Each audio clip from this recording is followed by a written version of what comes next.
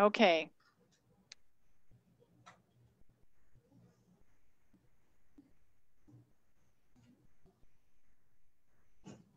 Okay, so we're live on Facebook now as well.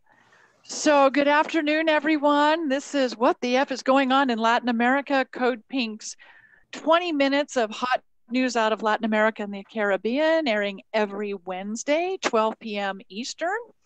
And uh, we stream live on Facebook. We will also be recording this and posting on our YouTube channel that we're building.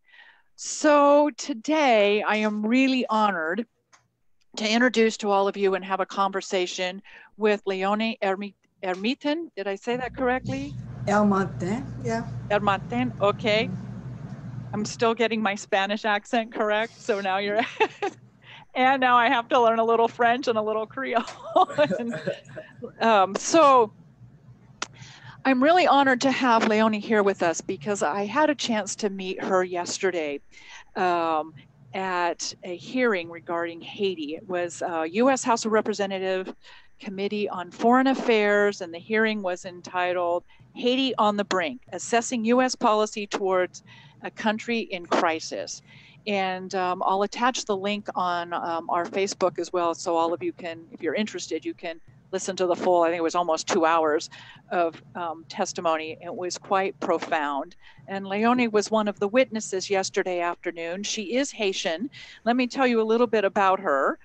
Um, you were born in Haiti, raised in New York City, and she spent 20 years of grassroots community um, building in Miami's Haitian community.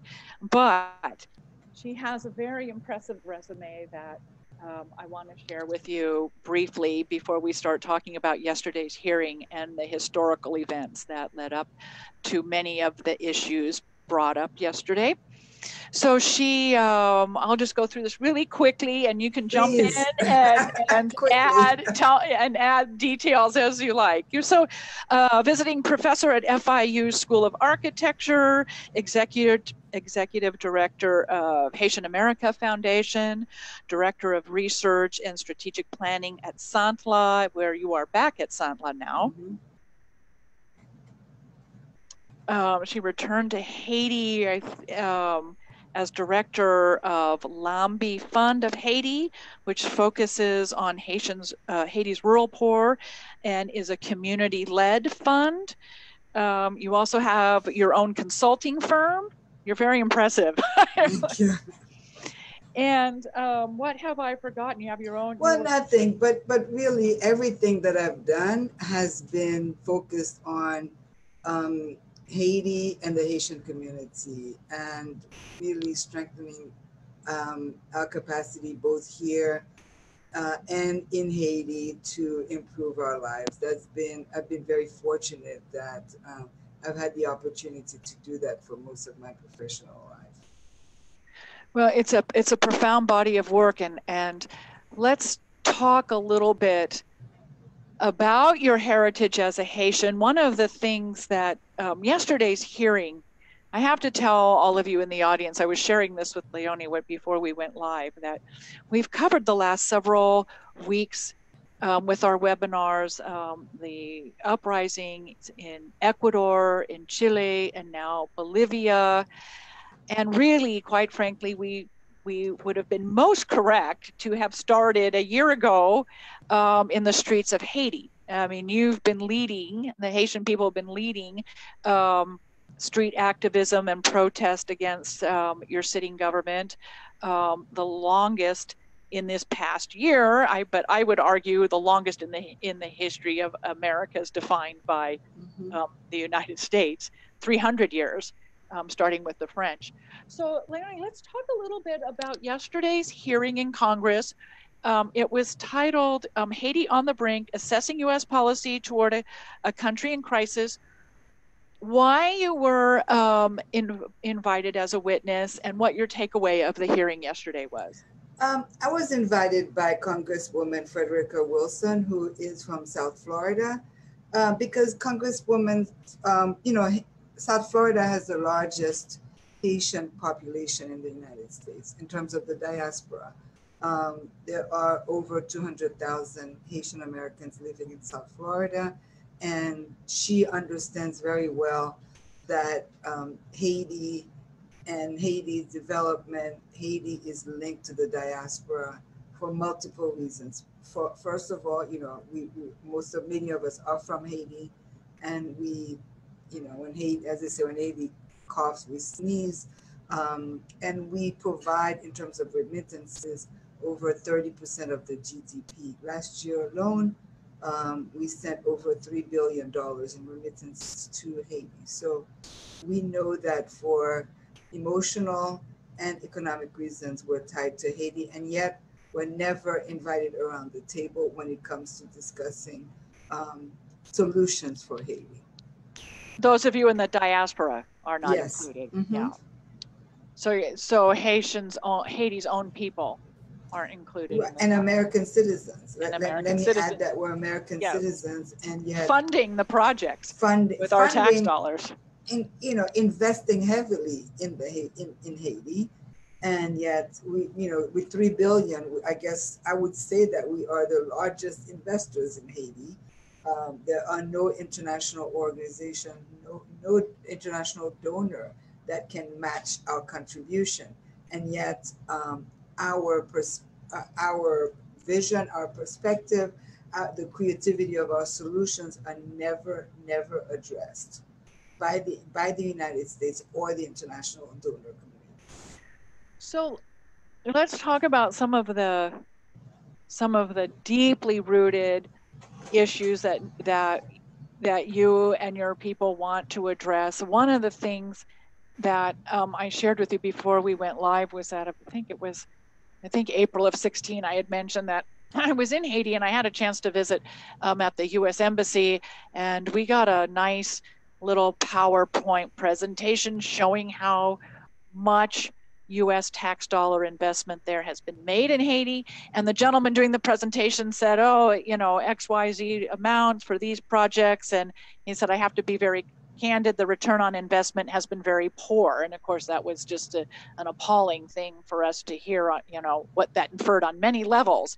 And so you and I were saying that the solutions keep coming from the same institutions and the same people. Right, and with, without consultation with really the people of Haiti. I mean, I, I remember uh, once post earthquake, I was staying at a hotel and I was sitting next to this woman who was asking me questions and I sort of probed her and said, What are you doing? And she was working for USAID or one of those organizations doing judicial reform, working on judicial reform in Haiti. And so I kept asking her, Have you? And she's writing a report. And there's another gentleman, uh, uh, an academic from a US university, and they were both talking about you know, the program. And so I kept asking, did you talk to so and so? Did you talk to so and so?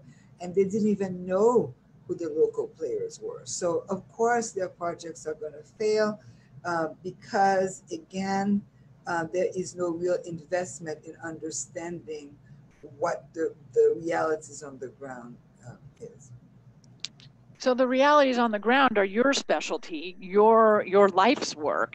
Can you um, share with us some of the community projects, funds that you've been involved with on the ground in Haiti? I, have worked. I've been very fortunate to work with great organizations underground. Uh, one of them was the Lambi Fund of Haiti, which is an organization that supports grassroots initiatives, not in the traditional I'm going to tell you what you need kind of way, but in a manner of um, we will support your own initiatives. So we would go to we go to rural communities and are approached by uh, community-based organizations, real local stakeholders who tell us that they need to, in order to become sustainable uh, farmers, they need an investment, you know, for example, in a grain mill, in an irrigation system, and so the Lambi Fund provides the fund with the proviso that the organization itself manages the fund. So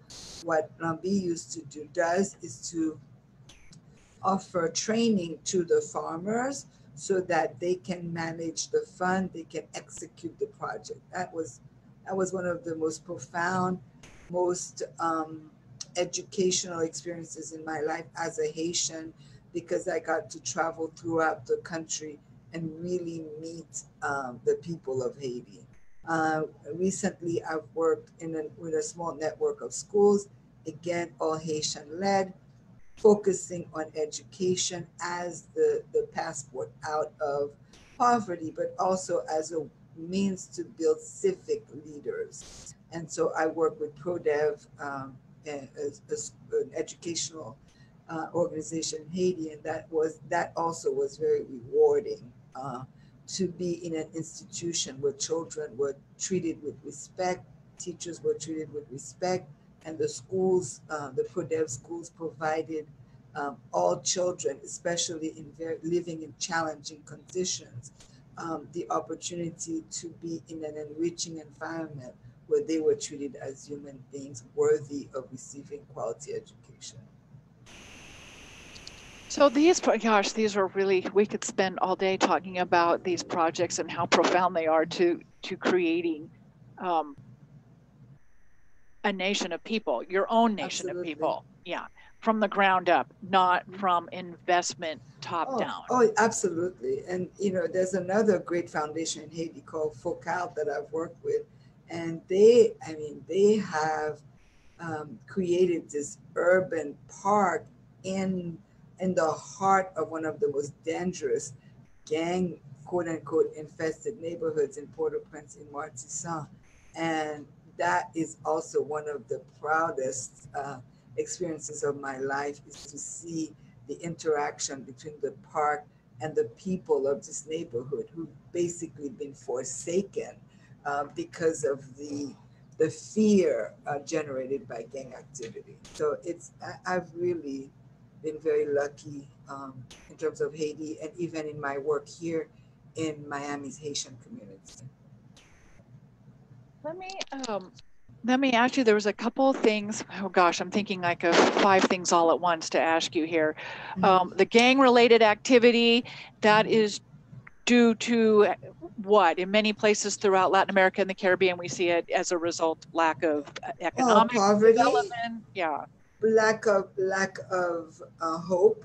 You know, clearly when you have a population where over 50% of the current population is under the age of 25, um, this is what you sort of call a bonus, a demographic bonus in most countries, because having such a young population allows you through education and training to envision what you want to be in the future and really build that country's capacity through its youth. But you have a country where there is an, you know, to call it inadequate is, is, is, is a gross misstatement, where you have a very dysfunctional educational system, very class um, driven, you know, because if you have money, you get some education, and if you don't, you're doomed to not be educated. And so, and you have that population, that youthful population, having access to the internet, having access to social media, and having the ability to project themselves into uh, societies that are much more affluent and much more respectful of their citizens. So that generates anger. That is also fueled by um, politicians a lot of politicians are arming their own gangs uh, in the absence of, you know, a police force of 9,000 for a country of, of uh, 11 million. You understand that protection is not always uh, guaranteed. And so you have a lot of politicians who are arming their own gangs for their own purposes, businessmen arming gangs for protection. And so people taking the, free, law into their own hands, the basically. free flow and the free flow of arms and guns and ammunition from the United States doesn't help either. Uh, and so you have young, you, know, you have 15 year olds walking around with the latest piece of automatic, um, you know, rifles, automatic guns. So it's it's very distressing to see the waste of a human young capacity. generation. Yeah.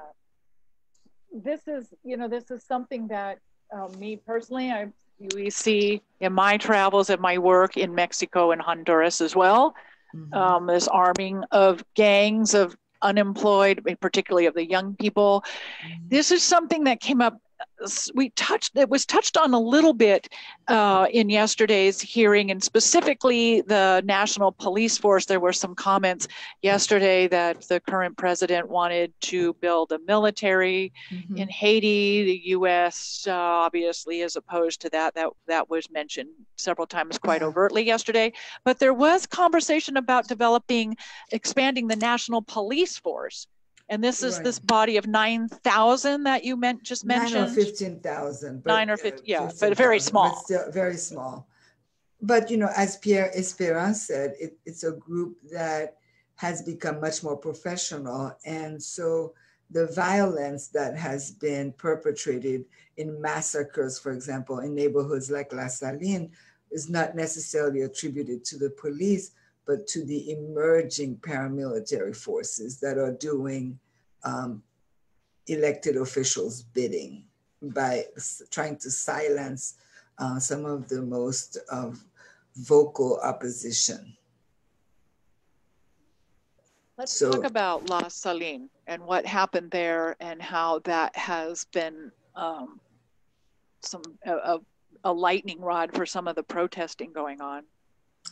Well, La Saline is a neighborhood, um, one of those neighborhoods that w- we have a high concentration of poverty, of unemployment, of uninhabitable dwellings. You know, you have when you go there, um, you know, you want to compare it to the favelas in, in, in Brazil, but it's really not even close to uh, comparable. You have ten, you have uh, shacks, basically, people living in shacks uh, really horrible conditions, um, but a very high concentration. As uh, people left the countryside and moved to the city, you know, Port-au-Prince was built for a population of 500,000. I think that right now, and it's a, it's a very, it's, it's, uh, there is not more, much room for, for expansion uh, because geograph, um, it's, it's surrounded by mountains and so um, the, the high concentration of poverty, the high concentration of population, as I said, people have left the countryside in droves and have moved to Port-au-Prince. And so they live in what people call ghettos. And La Saline, just like Cité Soleil, is one of those uh, neighborhoods. And again, um, where you have a lot of gangs and a lot of um, the, the hotbed of political dissent. And so, um, as demonstrators have put the city on what they call lock, you know, lockdown, um, uh, the paramilitary forces have uh, gone into the neighborhood of La Saline and basically massacred um, young people, massacred, raped women, uh, really wreaked havoc and inflicted um, incredible violence uh, on that community. Um, the problem is that there is still no investigation. Those who have perpetrated these crimes are known, but yet uh, the justice system has yet to um, act on uh, the accusations and the evidence presented. And so uh, it's another continuing um, sign of impunity. And that's, you know, pro- protesters are, are always clamoring for. You know, they want justice, they want the rule of law. And La Saline is an absolute wonderful example, not wonderful, but an important example of what happens in a country where there is no rule of law. So, this is a country with no rule of law being heavily funded by the United States and various aid organizations. And maybe we should talk about why that's so. I think in the opening statements yesterday, there was a comment made that, um, to me, basically summed up the geopolitical role of Haiti and, and why the United States basically tolerates funding um, a government that operates with impunity, not unlike funding Honduras. Mm-hmm. Um, and that statement was um, that Haiti the current government of Haiti recognizes the um, quote unquote interim government of Venezuela under Juan Guaido, and that also Haiti is a trading partner with Taiwan as opposed to mainland China. And, and also taking a position in Nicaragua that is aligned with the United States vision. So, uh-huh. yes, there was a statement that for political, geopolitical reasons, um, Haiti was not, well, the president of Haiti, the current um, Jovenel Moise's administration, was considered an ally, an important ally. And so, in that regard, you, there's almost uh, there's um, I'm not sure how to correctly say this without being offensive to some people in the audience, that the funding from the U.S. and related aid organizations continues to come regardless of the cry from the people on the streets for a more humane and just society. Yeah, I mean, I think that I think with the exception of President Aristide, if I recall, uh, money has always flowed into Haiti um, the question is, how is it invested? Whether it's come in or not, what difference has it, has it made? And that was uh, that was part of my opening statement yeah.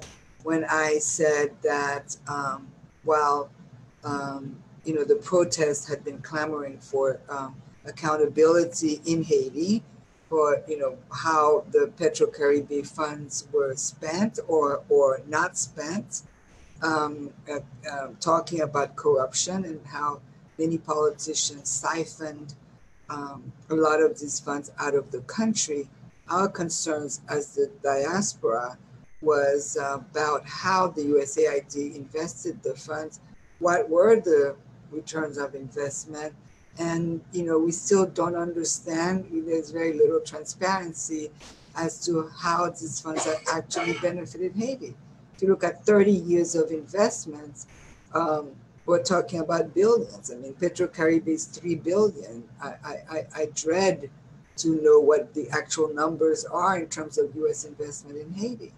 And, and as we say, we don't, as taxpayers, we have not yet been given a full picture as to what the returns on our investments are and why um, we keep investing in bad policy and bad strategies or ineffectual strategies. Because we don't step out of the box, as you and I were saying earlier. That they, we keep referring uh, issues to the same institutions and the same. Well, the question the is, people. do we want to step out of the box? I exactly. Mean, I think that yes. these are very smart people yeah. who understand that if a strategy doesn't work, something else should be tried.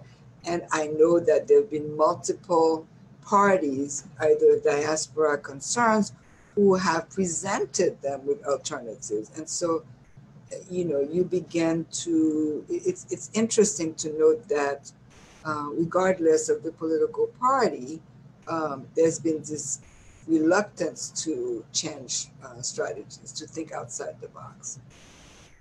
And most likely for geopolitical reasons and self enrichment and all those other uh, financial um, ties to corruption, mm-hmm. et cetera. One of um, now there was a potential for elections in Haiti in January. Is that my understanding? Um, and, possibly, but doubtful. And one, uh, what would elections accomplish, if anything? I know there well, was. What's going what's going to happen is that by law, the members of parliament are going to be out. There should have been elections in. There should have been elections this fall to replace um, members of parliament who are term limited.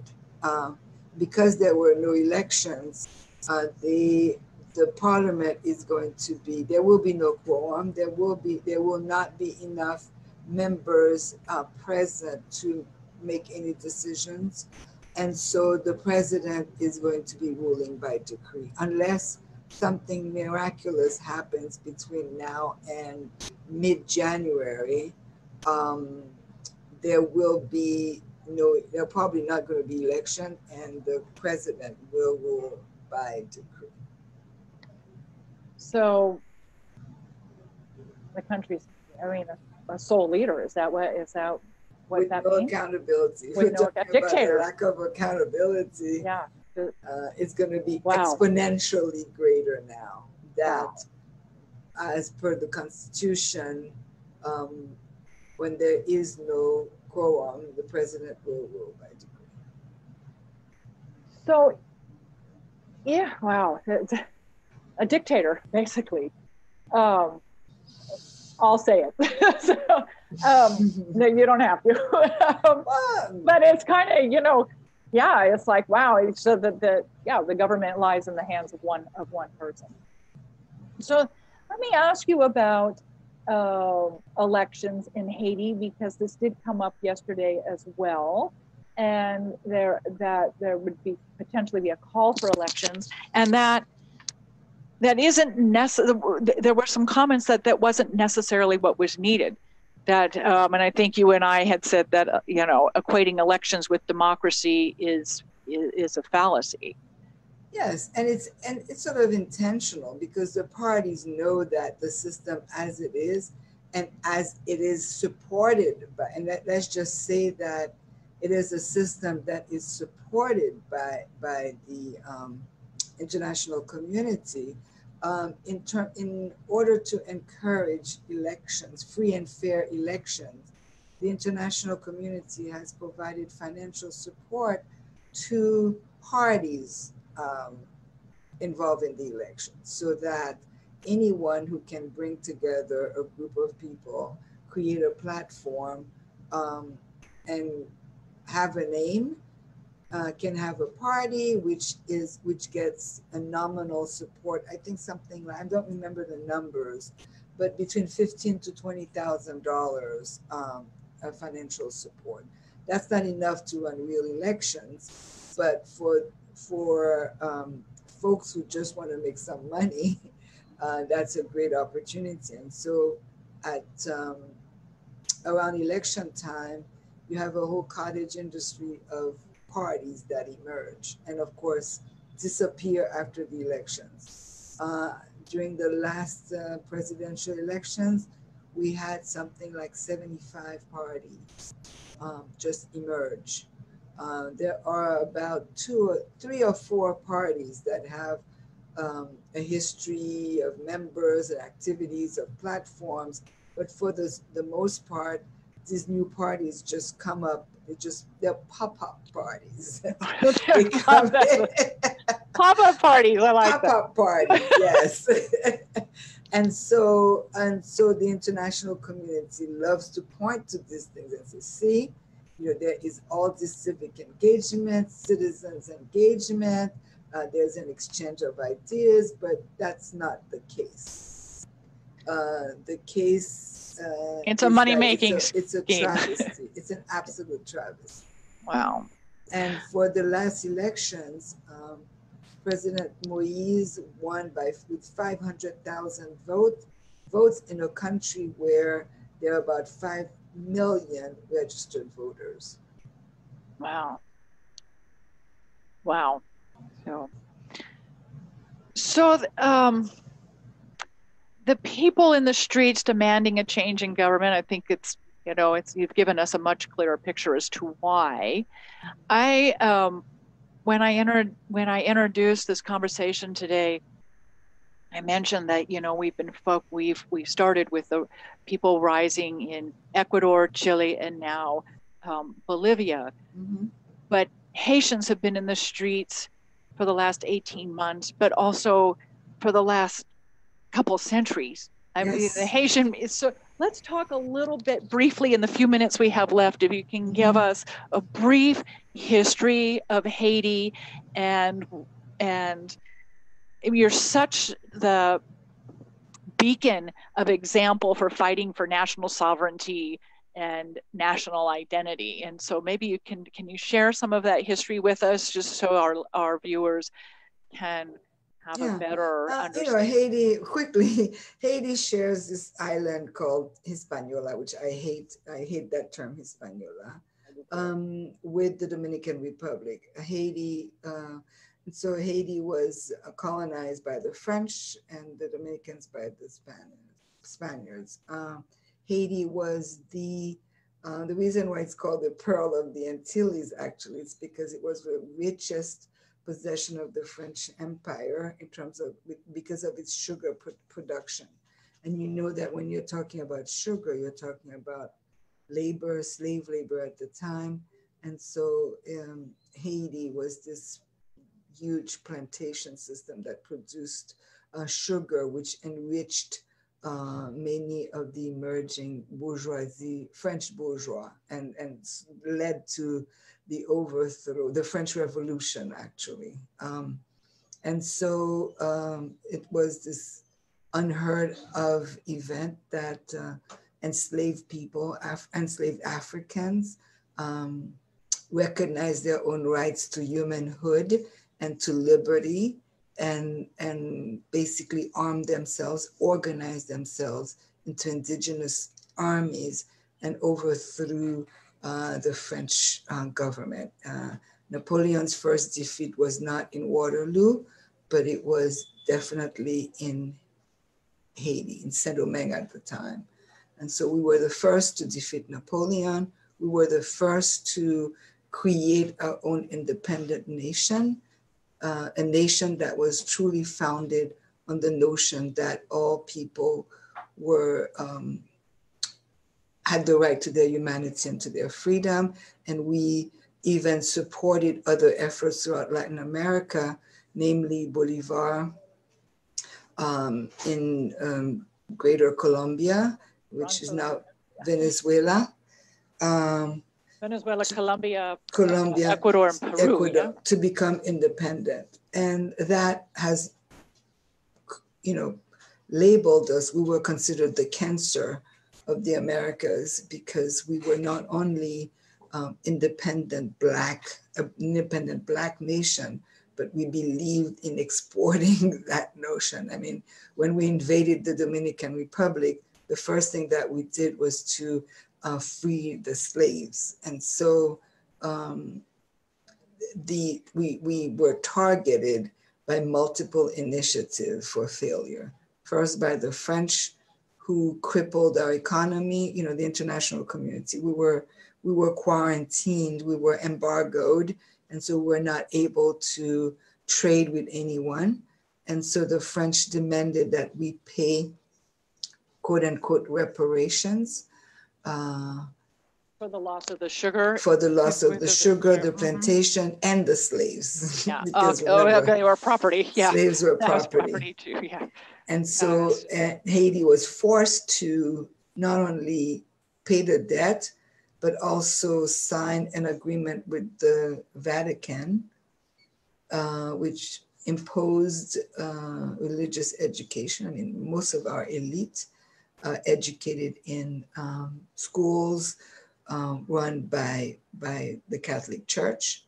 And so, in addition to having to pay a debt, we were also forced to bring the colonizers back to educate our children. And um, that is followed, of course, by multiple attempts at occupation, not just from the, you know, from the Germans, uh, and then uh, in the ni- early 1900s, we were in, there was an American occupation which lasted about 30 years, where again, there was a major effort to suppress um, indigenous uh, forces of resistance, not just in terms of armed resistance, but cultural resistance as well. Uh, you will see increased attacks on our religion, a religion that has been the foundation of our spirit of independence, freedom, and that's Vodou. And during the American occupation, I have to say that uh, the Marines who landed were all from the Deep South. They were Jim Crow, products of the Jim Crow system. And so the ferocity, their, their attacks on our people, on our culture, uh, was an incredible effort to take um, away from us uh, this our spirit of, of, of, of liberty. And so, uh, because of Haiti's position as a geopolitical geopolitical position, um, you know, moving forward in terms of Cuba, um, the dictatorship that emerged in the 19, late 50s, early 60s was um, viewed as an ally uh, because, uh, again, uh, it um, it was a, it was sort of the polar opposite of Fidel Castro in a way, uh, and so um, well, ideologically opposite to Fidel Castro. Um, so American intervention has continued throughout that time, whether it be through financial support, uh, technical support, and you know, it's it's just too much for me to encompass in one conversation. No, of course. I have to say that uh, American intervention, American assistance has been with us forever. And one the other interesting thing that they brought in the with the last occupation was also the missionaries. Um, the missionaries have have uh, also had a very negative impact on Haiti. So you know what what you're describing to us is I just want to say first, it's just it's so significant that the Haitian people were the first to throw off the the yoke of slavery and free yourself from the French Empire. It was it, this is something most mainland U.S. citizens do not understand, and it's a profound um, lesson to learn from the Haitian people and to understand. But so much of what you've just described to us, we see right now, well, I would argue, I would argue since November 10th, playing out in Bolivia. Hmm. That this persecution of the indigenous people, getting rid of their culture, their their religious practices, um, their relationship to the land, and their their self reliance on the land, all of that is is in full vision hmm. there right now. It's the same. It's the same historical playbook. Hmm that we continue to see throughout this hemisphere. So I wonder if there's in just in closing this conversation, gosh, Leonie, I could talk with you all afternoon. I'm, it's just it's just fascinating to be with you. Is there um, one or two books that you could recommend to our viewers to give them, you know, okay. a. uh, well, one one recent book that I usually recommend is uh, Bob Maguire's uh, "Who Owns Haiti." There's so many books that I can't. Uh, anything by Rolph Trouillot, um, Patrick Bellegarde Smith. Um, but but who owns Haiti? Um, Bob Maguire is a really good. It's not too voluminous. It's not a lot of reading. It's a reader. There are different perspectives, but it's really it's a very good book to get an, an understanding of what's the current Haiti's current landscape. Okay, terrific. I will put that um, uh, in the comments on our Facebook Live uh, mm-hmm. video. And I'm also going to share with the audience uh, the link to yesterday's hearing. We had some um, really significant comments from um, witnesses, and also was really interesting, um, a relief to me to hear so many comments on the panel from the con- congressional members. Yes. A few on the uh, Republicans as well, really um, against U.S. interventionism in mul- in multiple forms. It was, mm-hmm. it was mm-hmm. I've never heard so many uh, in one hearing be mm-hmm. so against U.S. foreign policy on a, in a nation, and that that was that was a that was a relief to hear. Yes. Yeah. Now we just have to do something with it yes. with those opinions. So. Okay, everyone, I'm going to let Leonie go now. Thank you so much. You gave me much more time than I had asked you for, and I'm so appreciative of it. And Thank I look you. forward to further conversation with you. And um, we'll be back uh, next week for the audience will be Code Pink will be in Cuba, and we will be airing um, what the F is going on in Latin America, 12 p.m. Eastern, live from Havana next week. So, another Thank Caribbean you. island with a profound history. So. Yes. Okay, Leonie, thank, thank you. you, so Bye-bye. much. Bye bye. Thank you very much. Bye bye. Oof.